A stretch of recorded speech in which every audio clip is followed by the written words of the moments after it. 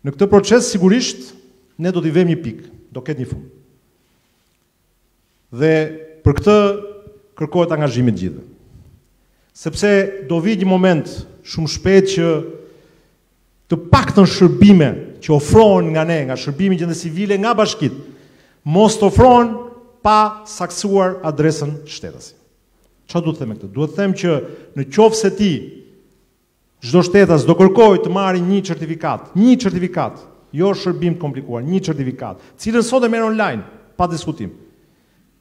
Nuk do ta marri më nëse ai nuk saktëson dhe nuk verifikon dhe nuk konfirmon adresën sipas sistemit unik.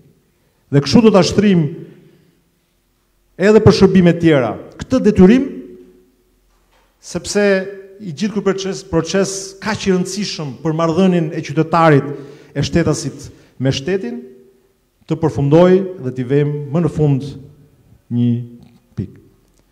Dhe masi të jenë saktësuar adresat, do lidhet me Regjistrin Kombëtar të Gjendjes Civile. Dhe ke Regjistri Kombëtar i Gjendjes Civile, kur shfaqet, ashtu siç jepen të gjithë të dhënat, e emër, mbiemër, atësi, mëmësi, datëlindje, e kështu me radhë, ke rubrika adresa do jetë automatikisht Masi përfundon ky proces, automatikisht inkorporohet, përfshihet edhe adresa. Dhe në certifikatë do ketë adresën e saktë çdo shtetas shqiptar. Dhe kjo është një adresë e saktë dhe kështu do të jetë Certifikata Dhe kështu në fakt është certifikata për shtatëqind e pesëdhjetë mijë familje sot që flasim. Por ne duhet ta përmbyllim për gjithë shtetasit shqiptarë. Dhe me kodin, pra është rruga dhe pastaj në dë një hë dy ap dymbëdhjetë kodi një mijë e nëntëmbëdhjetë kodi postar. Me këtë adresë identifikohet çdo shtetas shqiptar. Çdo shtetas shqiptar sot identifikohet lehtësisht me këtë adresë. Dhe çdo referencë, qoftë edhe të natyrës dixhitale kur merr shërbime apo kur kërkon shërbime me këtë adresë është lehtësisht e identifikueshme. Pra çdo person është lehtësisht i identifikueshëm. Kështu që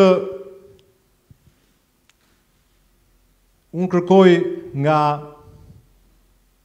radhë të parë nga të gjithë ne njëherë, nga të gjithë ju që jeni këtu, nga kryetarët e bashkive, nga zyrtarët, punonjësit e gjendjes civile, një angazhim maksimal që ne ta përmbyllim më në fund këtë proces kaq të rëndësishëm për funksionimin e shtetit. Po në radhë të dytë edhe nga qytetarët, që t'i kushtojnë vetëm dy minuta kohë nga koha e tyre e rëndësishme për të vendosur një marrëdhënie korrekte dhe për në fund të fundit për të kryer një detyrim qytetar, një detyrim ligjor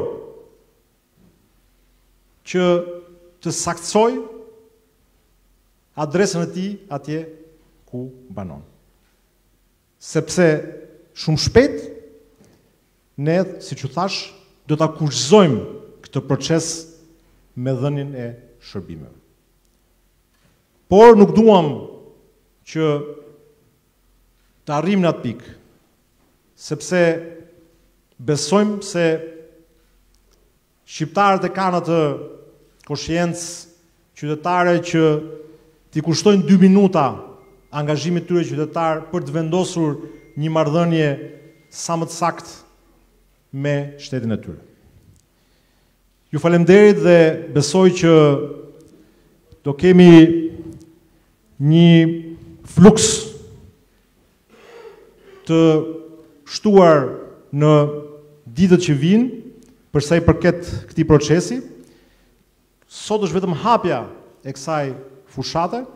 Ne do ta shtrijmë këtë fushatë në gjithë Shqipërinë, kërkoj edhe pjesëmarrjen tuaj si kryetarë bashkie për të bërë punën tuaj në bashkitë tuaja.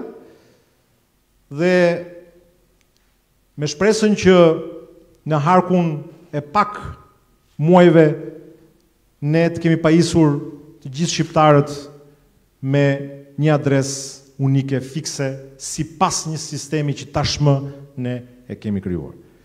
Dhe këtu tani do ftoj